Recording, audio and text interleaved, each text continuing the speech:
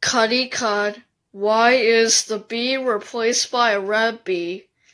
Because someone is going to have a magic trick to make this logo into a Discovery Kids logo. The one who has eyes, close your eyes. The rest of you face the back. Okay.